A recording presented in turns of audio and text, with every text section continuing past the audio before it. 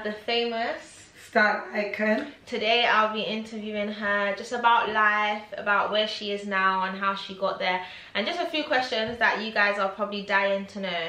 So here we go with our first question. How do you deal with hate and the negative energy? Wow how would i answer this? By um not paying too much into it because you don't know who these people are and you know sometimes they can be really really nasty and say nasty stuff to you. Um, you just have to knock it at the bud and do not take any notice of what they're saying. Mm -hmm. how do you feel like the hate uh, how can i say do you feel like it motivates you to do more because there's a lot of people out there that even though you get hate they love you to bits. Like they admire you. They're waiting for your next live. They're waiting for your next picture. They're waiting for you to come out. So how would you say what does the hate do for you? Well the hate actually make you more determined mm -hmm. and make you more stronger to achieve what you set out to achieve. So like sometimes the stuff that they say about you and the hate that they have towards you sometimes it's boiled down to jealousy. Yeah. So you can't really take it and go too much or make it get to you. So what you have to do is just stay positive and stay on your your, your, your track, yeah. stay on that journey and stay um, motivated and stay in that place where you know this is where I need to get. Definitely. Would you say you have thick skin? Uh, you're very when people say negative things. So you know you have some people. I like, I, I I used to like um I used to let be um people draw me out sometimes. Mm -hmm. Like sometimes I used to like some of the stuff that they say, most of them that they say, mm -hmm. I know it's garbage and it's rubbish. And sometimes I I would answer them. But now, um, being a professional person now, and running a business of my own, I'm trying to stay positive and not get drawn in to what the, the haters have to say. Yeah, okay. Everyone portrays you as a thief. How does that make you feel? Well, it does make you feel bad when you're looking back on your behavior and, and your action. I can understand why they um, have that perception of me. But when you're looking back and seeing where I'm coming from, like basically when you come here, being in this country, don't have the right to any results yeah. and knowing that I'm a mother and I have my children and um, you're not allowed to work or do anything like that, you end up in that lifestyle, you know what I mean? Mm. So I could have choose something else, but one way or the other, it's still boiled down to doing criminal activity. I could be working in someone else's name. It's still a charge that I could go to prison. Yeah. So um, I end up like, you know, when I came here, I choose the wrong company. And from choosing the wrong company, I end up in that lifestyle. And I'm trying to change that now. I'm not proud of it. And You've come really far though, really far, and you've yeah. accomplished so much. So you should be really proud of yourself. Thank you. Really proud of yourself. Thank you. When you say when you came here, where did you come from? Well, I came from Jamaica, uh -huh. and when I came here, I came among family. After certain months or years, family do change in you. Uh -huh. Then they left you on your own. Yeah. So you have your children or your family back home you're going to do whatever you have to do to protect your family and feed your family. So that's how I end up in that sort of lifestyle, which, you know, I have regret mm -hmm. and I'm not proud of what I've done. Mm -hmm. I do regret it and I'm trying to be a different person now mm -hmm. and I'm trying to change and I will pay back society for the wrong that I have done. What made you start a cooking business? Sorry, as long as you're as well as your cooking business, you also have a clothing hairline. Yeah. And obviously a few things that are coming in the pipeline. We don't want to speak on them just as yet, but we will catch you guys up on what she has coming. But what made you start a cooking business? Why cooking? Wow, it's my love of food from I was young. I used to watch my mom cooking and from I'm young, I always love fashion and I always love yeah. cooking. I used to watch my aunt getting dressed and my mom getting dressed to go out and I always, my mom used to tell us like on Sunday, we have to stand up and watch my mom cook. So it's growing up. Is that a I- traditional? it is like a traditional for me and that's how I grew brought up my children them as well.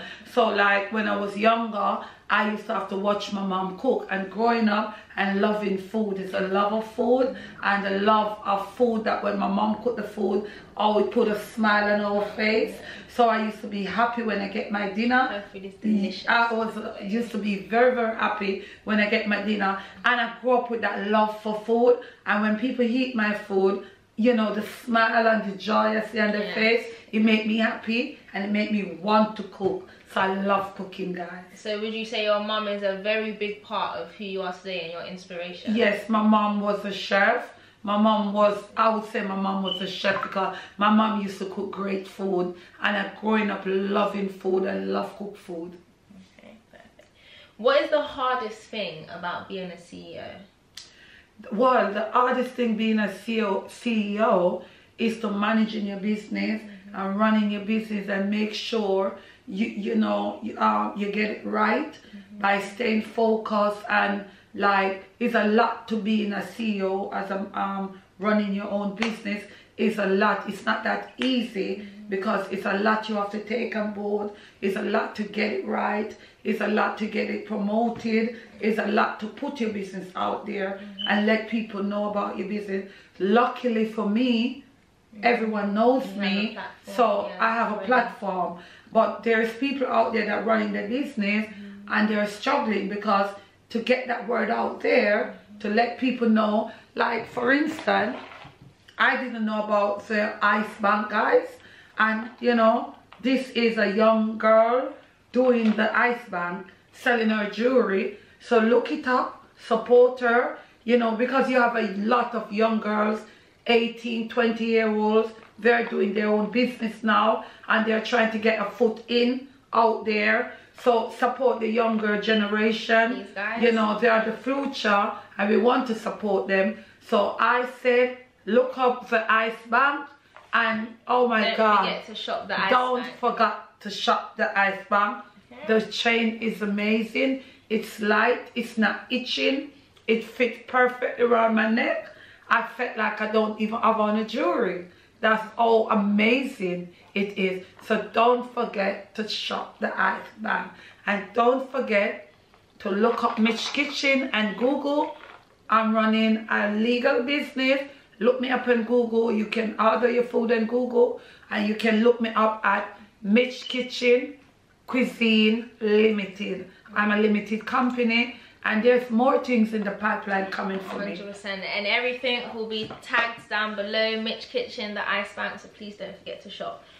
Um how do you how would you say that you, you balance life and business? Because i know as long as well as sorry alongside your food business you have loads of different businesses. You have a personal life you have kids you're i'm on a diet plan right now. So you also have your own life. How do you balance that Wow. So to balance that, guys, you have to mentally, um, mentally, what's the word for it?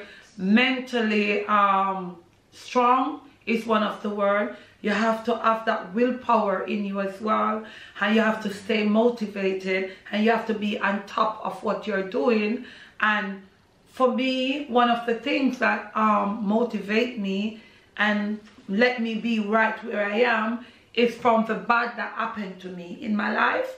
So from the bad that happened to me in my life, I turn it into positivity.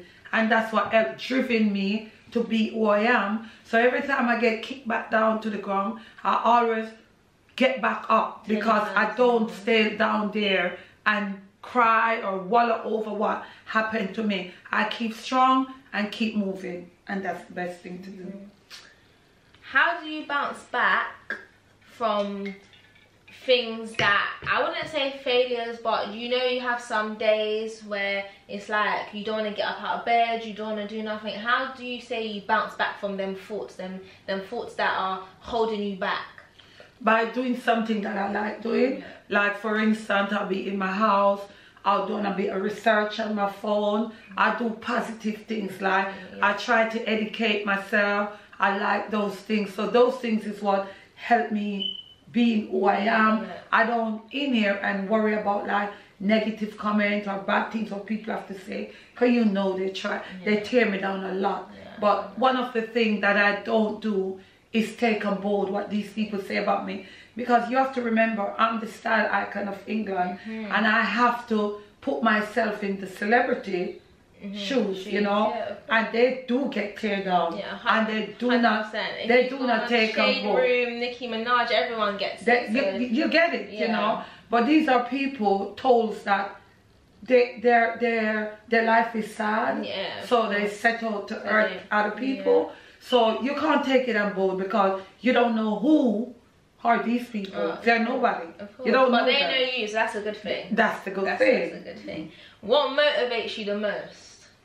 What motivates me is, um, the most is by being me. Yeah. Um, yeah, count myself lucky, be grateful that I'm healthy, and what motivates me the most as well is like looking at somebody else's life and said, you know what, look at that person. Like when I'm walking on the street and I see people that, you know, they're there, they don't have nothing. So it motivate me to do better stuff and try to help others Yeah. and give me that willpower that, you know what, you're fortunate, Yeah, you know. yeah. So give me that courage to keep going. Keep going. Yeah. Okay. What advice would you give to someone that is trying to start a business, especially during this pandemic as well? Use this pandemic as a way of um, getting your business together. That's one. So structure. Excuse me. Structure, uh, willpower, understanding, understanding yourself. Like sometimes you need to just lock yourself away, no one around you, and just sit down, breathe in, breathe out, and figure out where you want to be, who you want to be, what you want to do, and just take it like that. And done your research, um, less people around you, and um, get your pen and paper out, or if you have a laptop or a computer, do your research, market, do your marketing as well, and yeah, just push yourself. Someone will hear you.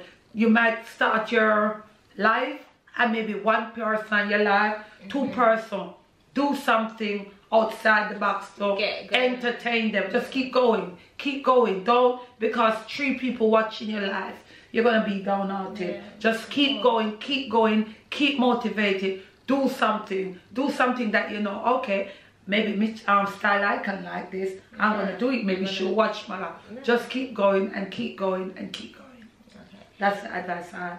Would you say, how would you advise somebody that wants to start a business regarding support? Because I know there's a saying that it says it takes a village to raise a child.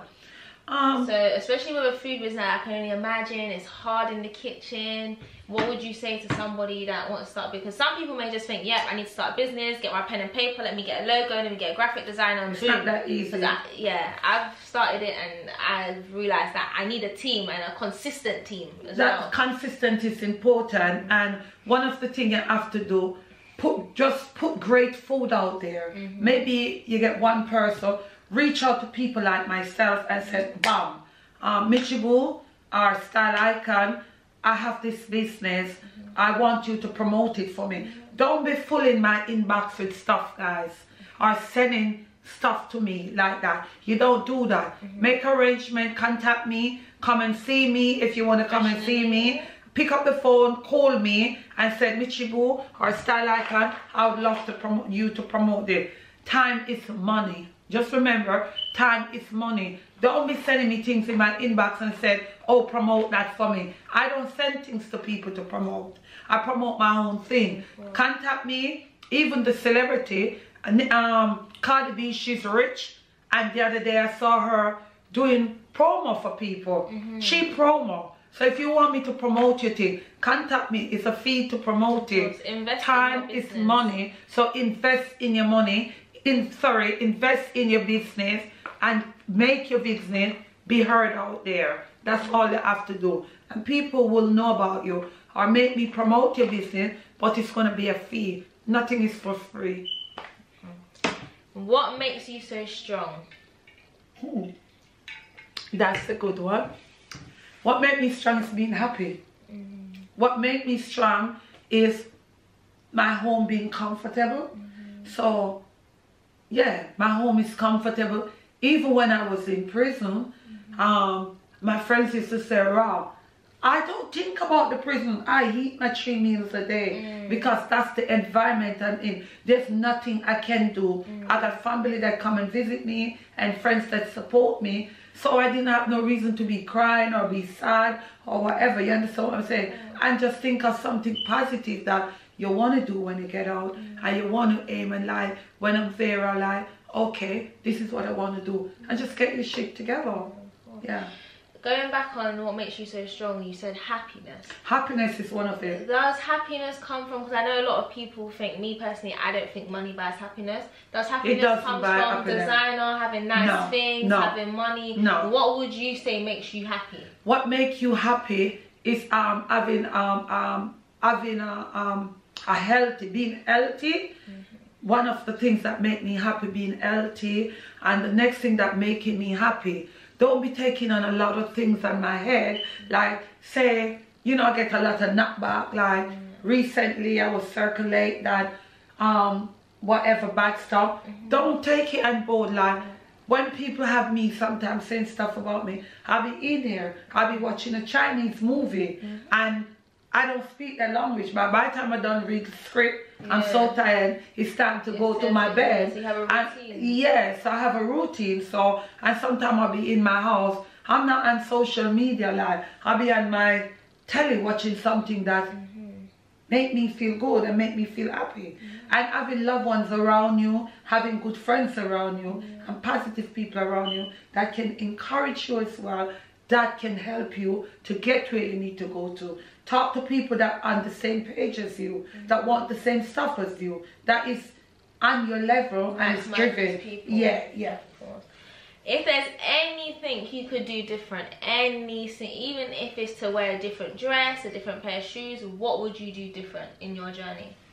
If it's anything, um, to do different. Anything. Stop um, coming on social media and arguing sometimes. Mm -hmm. It's not good for me. It's not good for business. Stop arguing with people and one of the things I would love to do different is the lifestyle that I used to live like going on the road and shoplifting and stuff like that. I don't want to do that no more. So I want to stay on this journey that I am because I need to set good example not only for my children but for my grandchildren and young girls out there. I want to set a good example for the younger generation like not because you want that designer stuff it don't have to be designer, mm -hmm. cheap and cheerful. Like as I said, my dress is from Zara. It's very good. Thank you. You know, and just work hard and buy what you want. You might not can get 10 things, just save your money and treat yourself when you can. Mm -hmm. You understand what I'm saying? Yeah. And that's it. And yeah, I wish 10 years ago, mm -hmm. I do things differently mm-hmm. to how I am now. Mm-hmm. You understand what I'm saying? Would you say it's a regret or it's just if you could change it? 100% is a regret for me mm. um, because I could have been reached further if most of the time I never end up in prison. Yeah. I could have reached further in my life. Well, so it's a big regret for me and one that I I'm very remorseful of. Yeah. Yeah. That is your opinion and I don't think you should regret anything because everything you've been through has made you the woman you are Thank today. You. And Thank you. It's all paid off in the end. Thank your you very business much. is only getting booming. Guys, don't forget to subscribe and go and check out Mitch Kitchen. When I mean the food is beautiful, you'll see the previous video of her whipping up um, what else can we expect from you? What, loads, what can we, loads, loads You're gonna more. give us a little sneak peek. Loads more. So guys, um, look out for my um, diet stuff coming out. Look out for my exercise stuff. I don't want to talk too much, but there's a lot of stuff in the pipeline. Keep watching, keep tuning in, and keep motivated, guys. And remember, healthy lifestyle is the best. And just keep watching my diet program keep remembering Thursday, Friday, and Saturday Mitch Kitchen, where I do great food, taste good, and put a smile on your face. 100%. Like Kiani. Okay, thank you guys for watching our interview today. Don't forget to like, comment, and subscribe, and we'll see you soon. Thank you.